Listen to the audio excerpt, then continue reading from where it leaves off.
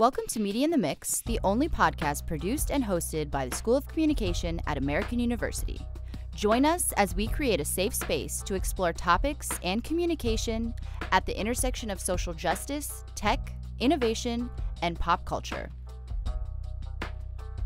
All right, welcome back to Media in the Mix. I'm your host, Grace Ibrahim, and today we're joined by Eddie Leavy, an AU alum and an actor, singer, voiceover artist, and writer based in Los Angeles and New York with a background in musical theater and a penchant for comedy. We have to talk about that because I'm doing stand up comedy actually. Uh, you might have seen him for his best known role of Anthony on the Lorne Michaels produced sitcom AP Bio, which ran for four seasons on NBC and Peacock. So cool. And most recently, Eddie appeared on the hit HBO Max comedy series The Other Two. We're so excited to talk about all of these things today, Eddie, and thanks for joining us.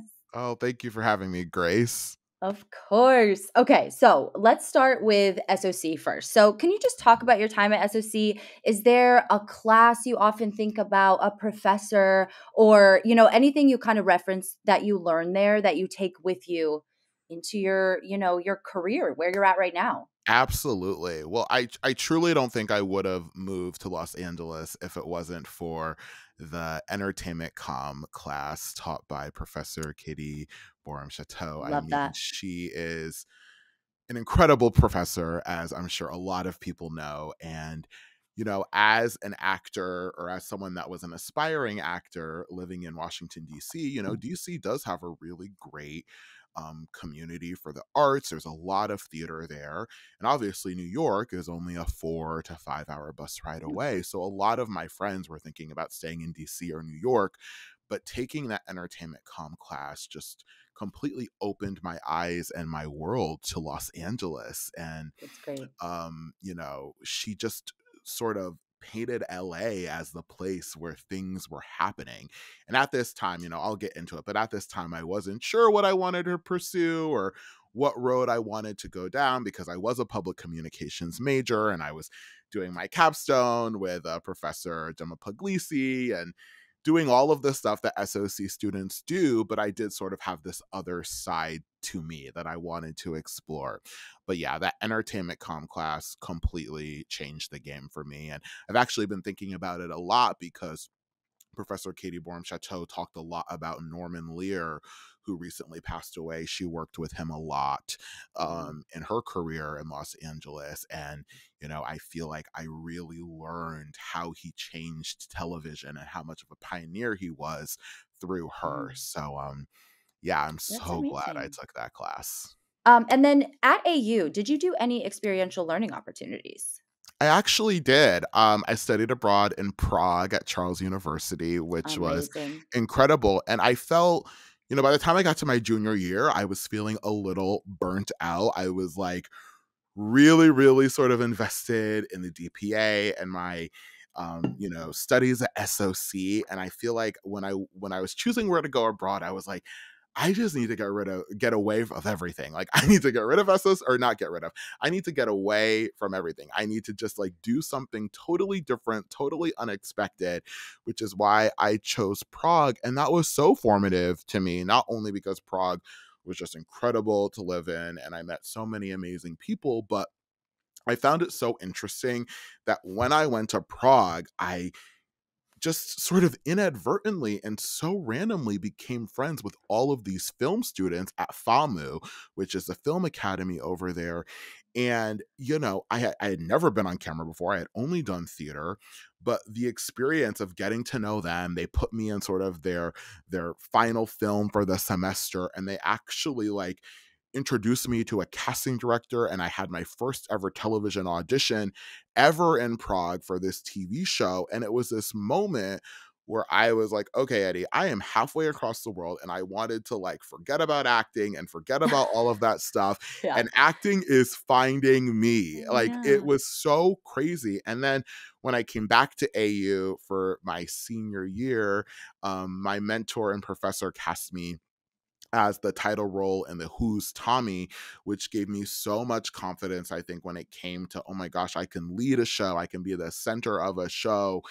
and he sort of was talking to me about what should I do after I graduate and he was like well have you ever thought about LA I feel like you'd be really great on camera and then I mm-hmm. took the entertainment com class with Caty, Professor Caty Borum Chattoo. So it just all kind of blended yeah. together where like the path to go to LA became clearer and clearer because of this crazy chain of events. But again, studying abroad in Prague, I just I I could not believe that all of these acting opportunities were finding me and I I still think that's a big reason why I moved out to LA after I graduated. That's amazing. Prague is one of my favorite cities. I oh, the best. The fried cheese sandwiches. Come it's, on. Oh, beautiful. I loved it. That's awesome. That's amazing. And did you know it was going to be acting as the first step outside of, you know, graduating or did you have other career paths in mind? How did that kind of come together for yeah, you? I was in straight up denial, like truly. I I changed my major a million times at AU. Like I think I entered as a business and music major. I switched okay. to like maybe social work and then mm-hmm. I thought I'd major in theater and then I ended up at SOC. So I was someone that I had no idea what I wanted to do, but yeah. I knew that my passion was for the arts. But if I'm okay. being honest, like I was really scared back then. Like I was scared at the instability of the career. I I, I don't think I really understood how this could be your job and vocation right. it just felt like a hobby. But I feel like when I look back at my time at AU, I had the absolute best of both worlds because I got such an incredible liberal arts education, especially from SOC, where those skills are invaluable when it comes to my professional career now. Like mm-hmm. learning how to market and learning how to get a message out there is vital as an actor right. because you are the product. Right. You know, but it took me a while, I think, to have the courage to be like, wow, my heart is in acting and performing, even if it is really hard and right. really unstable. Um, but for me, it was just having the courage to get out to LA, right. having the courage to jump on that plane um, with my dream and my cardigan, as Miley right. would say. Love it. and, How could we not as a millennial Yeah.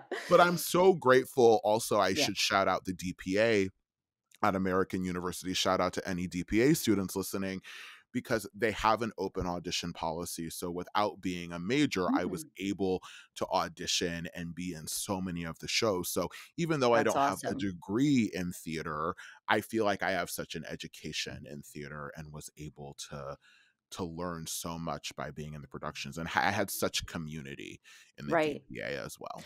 So would you say kind of, you know, being in LA and being around that environment definitely upped that motivation a little bit? Rather oh, than the thought sure. prior.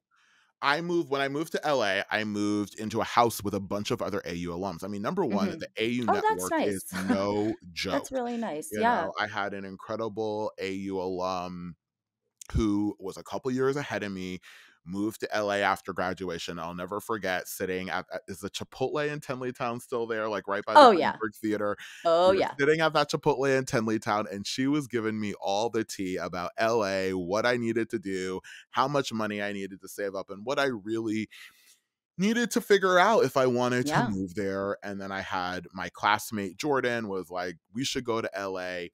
Um, and we were able to move into this house, which was the perfect sort of transition into moving That's in LA amazing. because we had community. I'm yeah. going to say community a lot because I think community is so important. But we had community, and we were able to to have people a couple years older than us like really show us around right. and really kind of tell us what we needed to do to embark on our careers and that was again all because of the AU alumni network. That's amazing. We preach that so much, like our, our mentorship program, just our alumni networking events, just because this industry can be so alienating sometimes and so isolating. So you're right. Community is very important. I feel like that could just jumpstart your career just by being around other people doing the same thing, possibly. But I feel okay. So we're on the topic of acting. So I want to talk about that a little bit because yes, there's, we actually have never talked about on the never talked about that on the podcast. So I want to dive into little tips and tricks here if anybody's listening that are, are curious or need to know. Okay, I want to know what it's really like, the audition process. Can you talk about things that you have to bring with you to an audition process that people won't think about that are super important um, just like any other job that you show up for right um, and then are there any misconceptions about actors or misconceptions that you had that you know were were dispelled once you yes. got into the industry uh so much you know i feel like there are so many misconceptions about acting and there are so many things that you kind of need to bring along with you to the audition process i would say yes. on a technical standpoint you know auditioning has changed so much since the pandemic because a lot of the time we are auditioning from the comfort of our own bedroom because we're making right. what is called a self tape where we are recording the material and the mm-hmm. scenes on tape and sending them over to casting. So, having that sort of background and technology, being able to edit your auditions, being able to light and film your auditions, again, it doesn't need to be perfect, but you do sort of need to have, you know, the foundation of being able to do that. And then when you're doing live Zoom auditions, like you need to get that Ethernet cable. You need to make sure that there are right. no, you know, there there always is going to be a problem with technology and there's always going to be an internet problem. So you just have to make sure that you are set up for success. You know, have your sides on the side, have that pencil, mm-hmm. have that water bottle. Just like make sure you're really comfortable since we're not going out into the world and auditioning. Make sure that you're set up for success.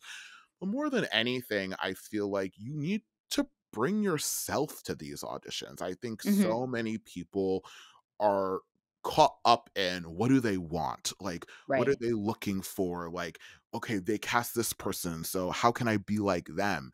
And they don't know what they want. They yeah. want you to be you. And mm-hmm. I feel like the second you realize that and you're able to bring your fullest self to your work and your auditions, the second you're hopefully going to see results. It's so, right. so important.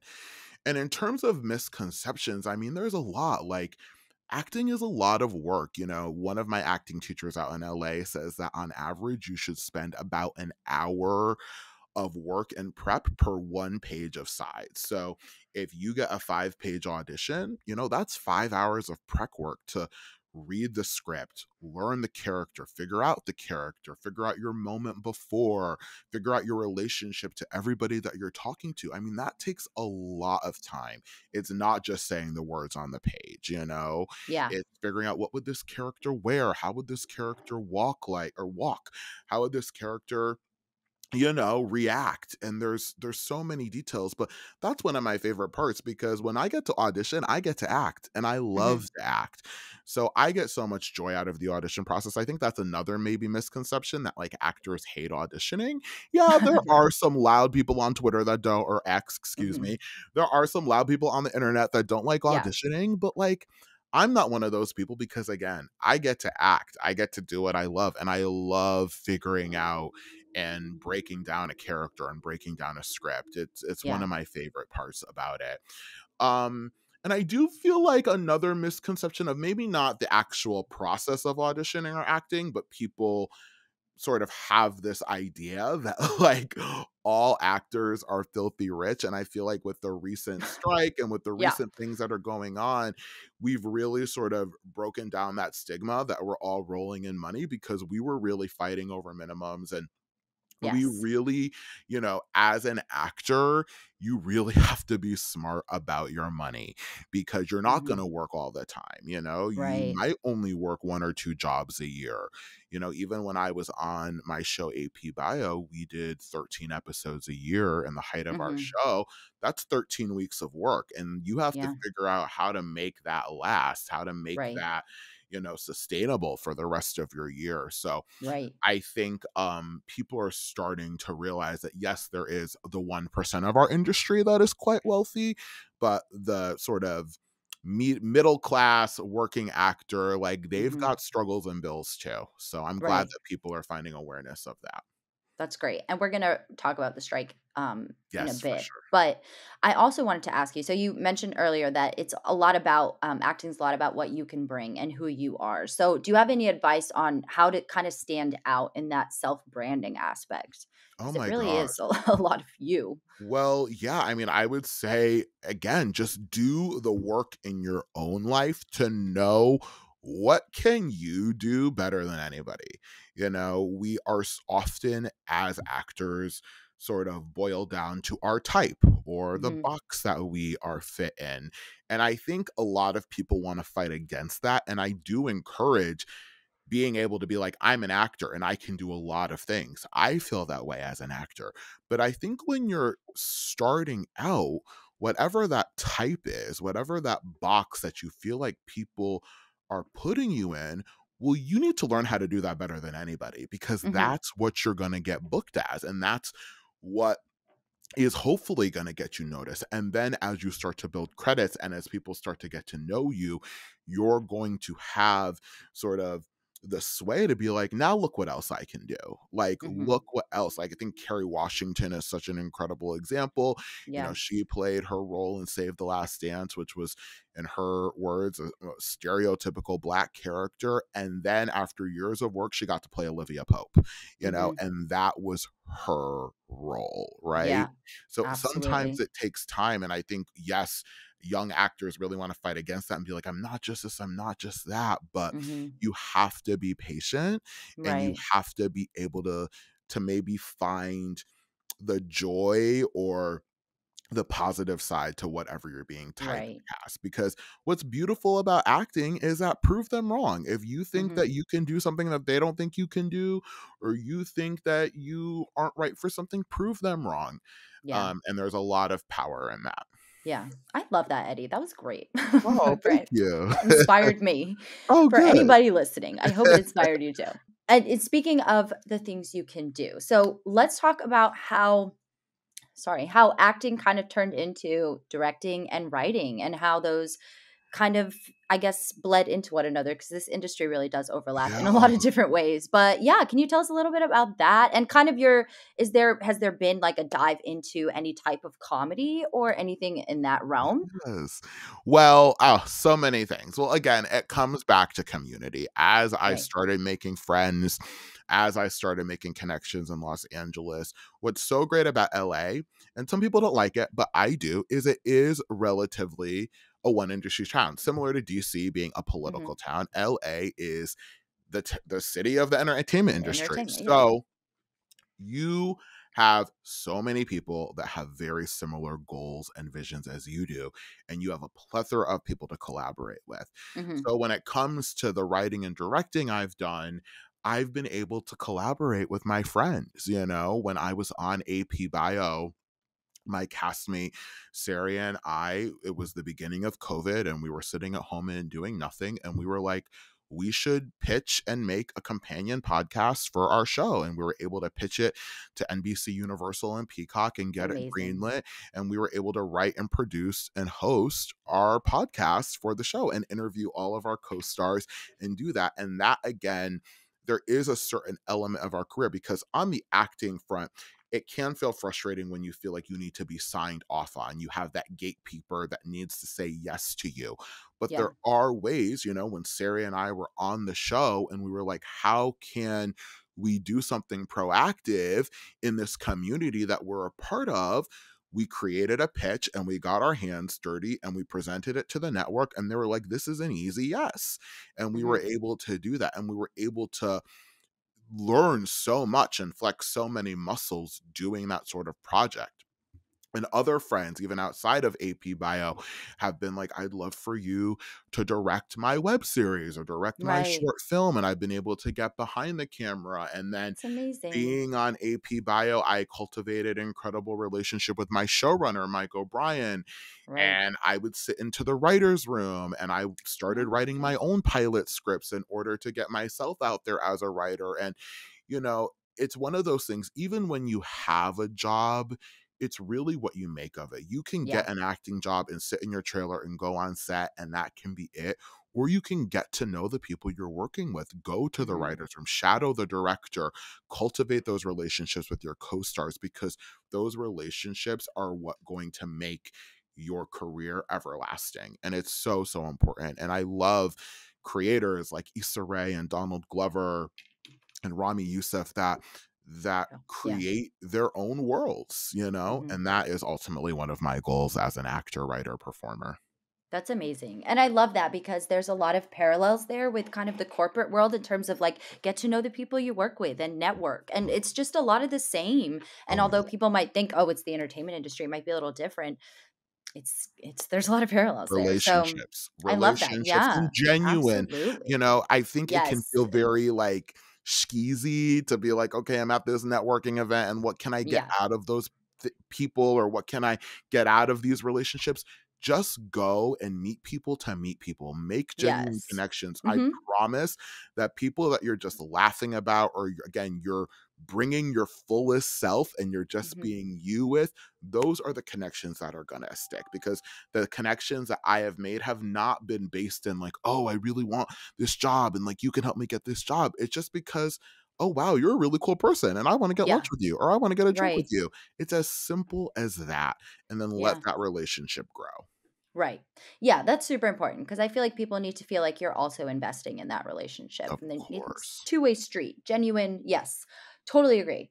And then um I want to talk about AP Bio a little bit more and kind of just the the nitty-gritty of what it's like to kind of land a job. And then can you talk about the in-between of the seasons? Did you know that you were going to get renewed for another season? What is that feeling like? Ooh. I mean, can you just bring any insight into that? Because I know, you know, even whether it's your first job or whether it's your 50th job and you know you're you're on game of thrones like it's it, they have the same fear right? I mean it's i feel like that's something that never really goes away. So can you just talk a little bit about that? Because i feel like that's a little unique in terms of Yeah. having that type of job.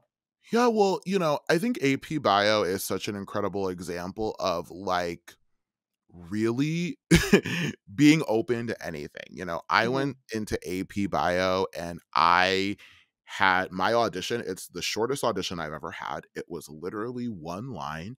The oh wow characters were sort of it's a pilot. So when you're doing a hmm pilot for television, you know, they're still sort of figuring everything out, right? Like they right have an idea of who the main characters were. So they had a really fleshed out idea of the adult characters on that show and a couple hmm of the students, but they were just trying to sort of fill this classroom with other students.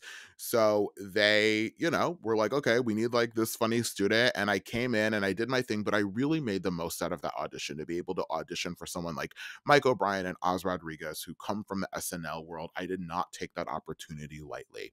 So I hmm kind of went in being like, okay, I think I'm just doing a pilot.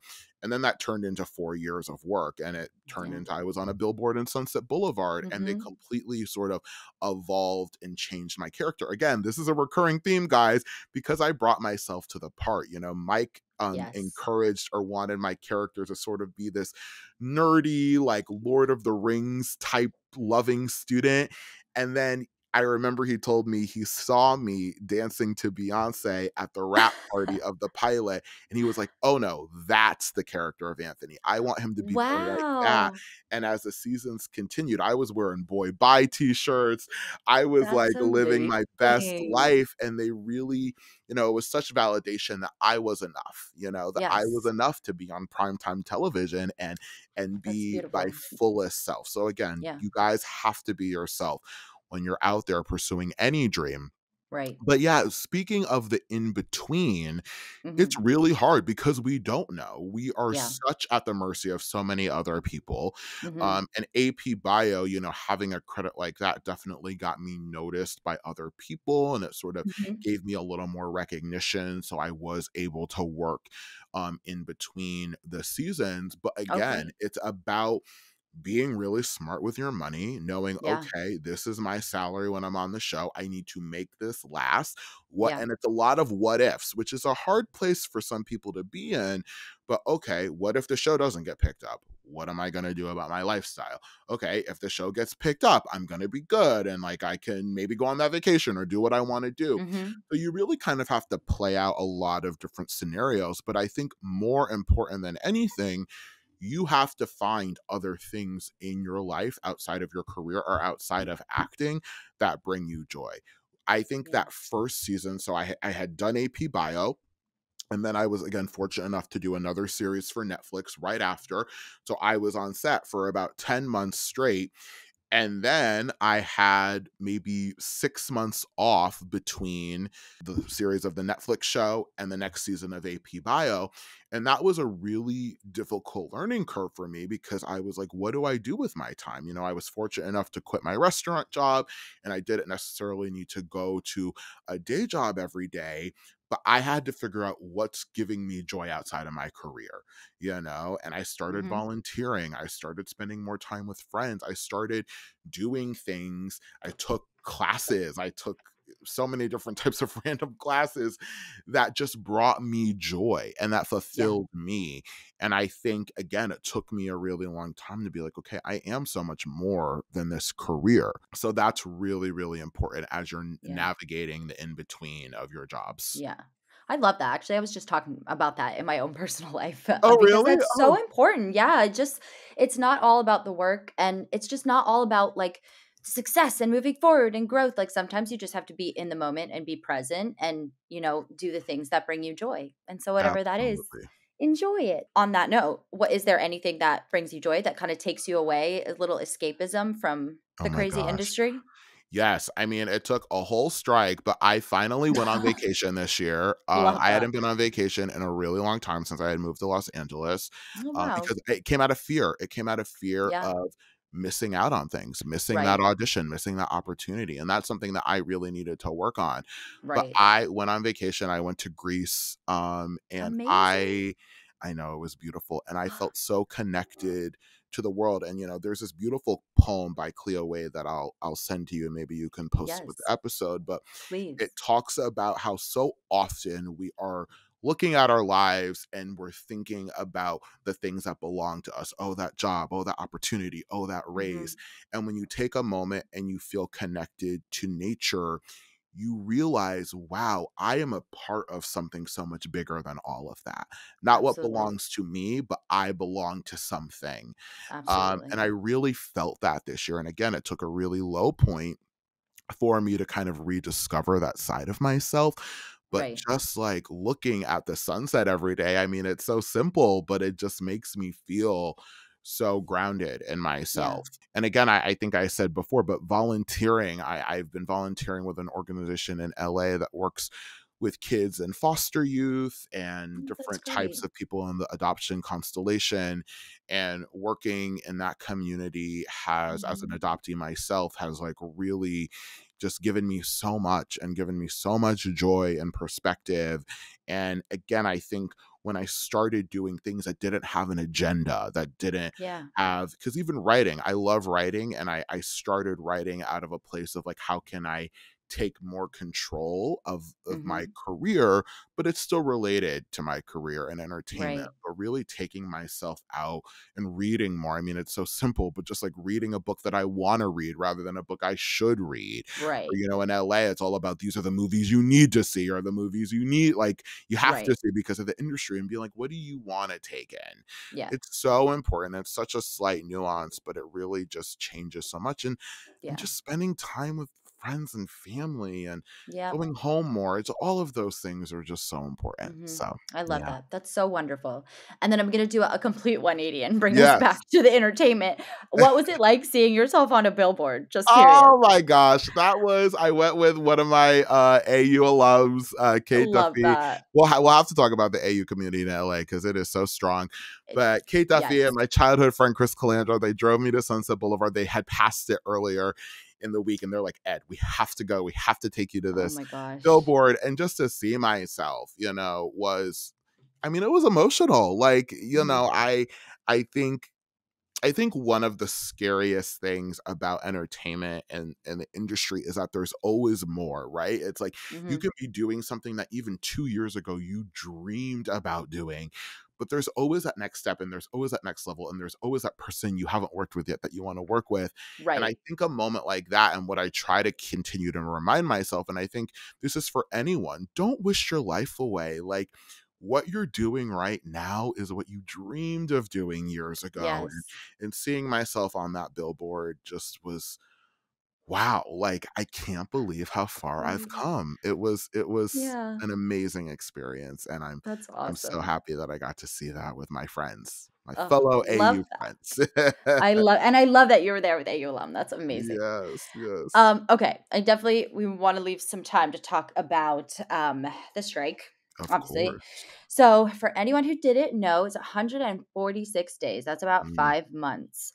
And that it's actually the first industry-wide shutdown in 63 years, meaning it was actors and writers together. So mm. that's a huge deal. First off, I'm so sorry that happened. It's just. It's, it's unnecessary but necessary at the same time. It's like a weird bittersweet moment. Things have to be done sometimes in order to, you know, create noise, create change. So on that note, you know, what did you think of the resolve? What was it like going through that? And did you anticipate it anticipate it and Jesus, anticipate it dragging on for so long? And then also, do you believe that there's change that can continue to happen in the yeah. industry. Yeah, you know, the strike was really a uh, an important moment in the history of of my industry and it was a lot of things. It was really really hard. You mm-hmm. know, I felt so much for my fellow members in SAG and in the WGA a lot of people were really, really hurting.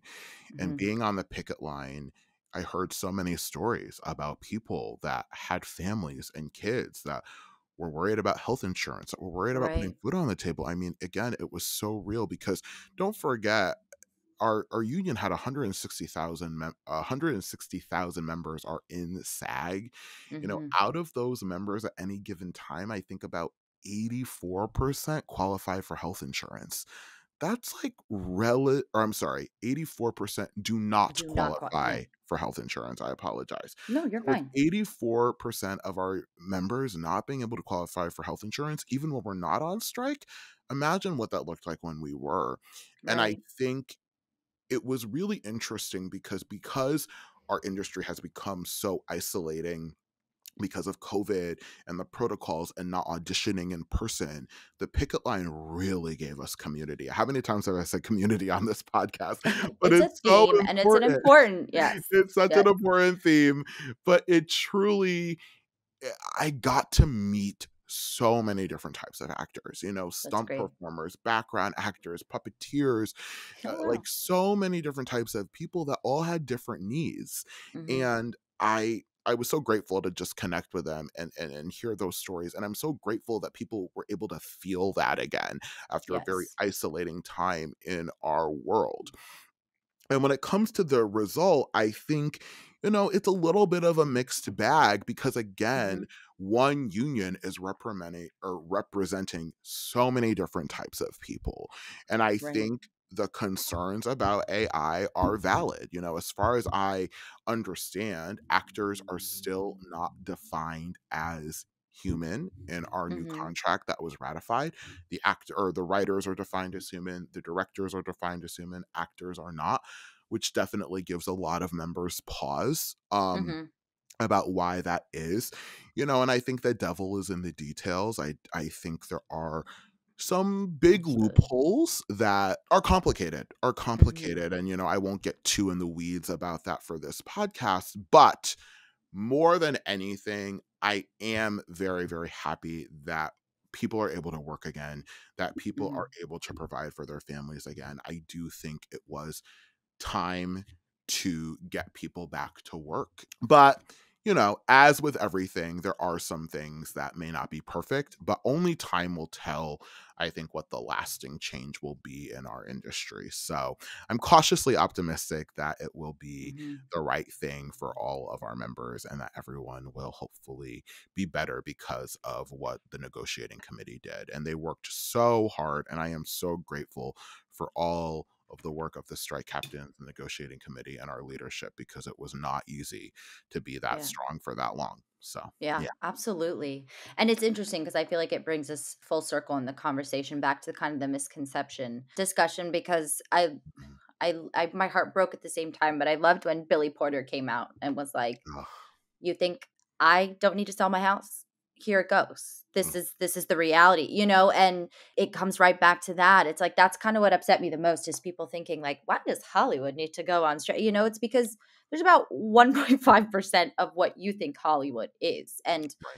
the rest are, you know, behind the scenes, behind the camera, behind the mics, behind, you know, there's so yeah. many other positions um, that happen. Yeah. And, you know, yeah. So I just thought I, that was a really powerful moment because I was like, yeah, that's I love that you brought up Billy Porter because he is one of my idols. I love him so much. If you haven't read his book, everyone, Unprotected oh, by Billy Porter. I, okay. Brilliant. My plane ride read. To it.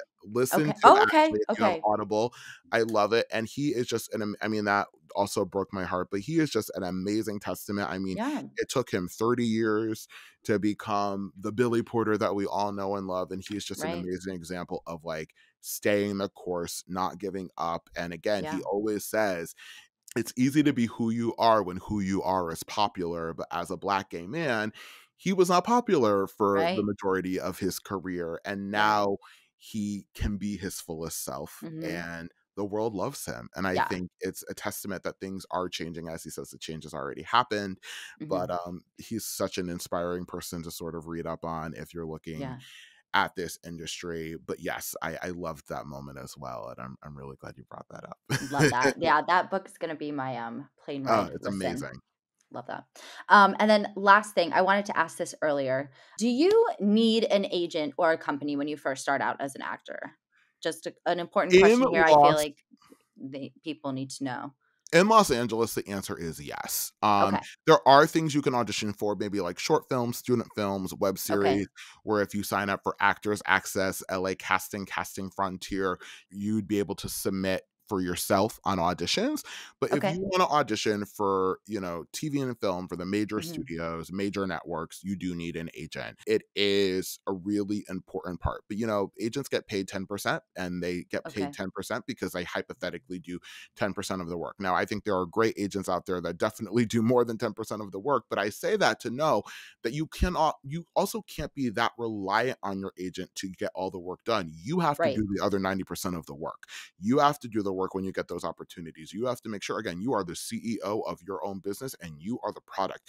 You have to make sure your pictures are right. You have to make sure your reels are right. You have to make sure if you want to develop a relationship with social media, you got that on lock. So there are so many other aspects of your career that you need to do the work for and it's really really important. But yes you do need an agent.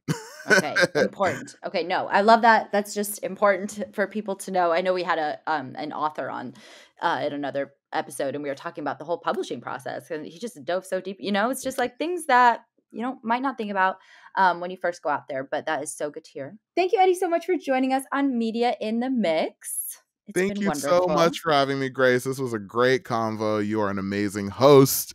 Thank um, you. And I hope we get to talk again sometime. I know. I hope we get to see you soon. Let us know if you're ever here. And uh, I don't know yes. if I'm coming to LA Intensive this year to film anything, but oh if gosh, I do, I will let you know. Yeah. And any AU students that are listening that are thinking about LA, please do not hesitate to reach out on the social media or email. And I'm happy to talk to any AU student that is trying to come out to LA and do their Absolutely. I was actually just going to say um, if anyone is going out to LA or has any questions for Eddie, feel, please feel free to reach out. He has a lot a lot of wisdom there to offer. Thank you so much. And if anyone wants to donate to the School of Communication, go to giving.american.edu. And I will see you on the next episode.